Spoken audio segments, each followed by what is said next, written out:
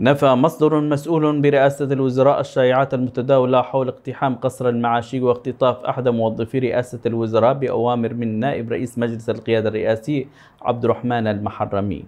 ودعا المصدر على التحري الدقة والمصداقية وعدم الانجرار خلف الشائعات التي تقف وراءها أغراض مشبوهة. تسعى إلى تمزيق الصف الوطني وحرف المعركة الوجودية ضد الميليشيا الحوثية.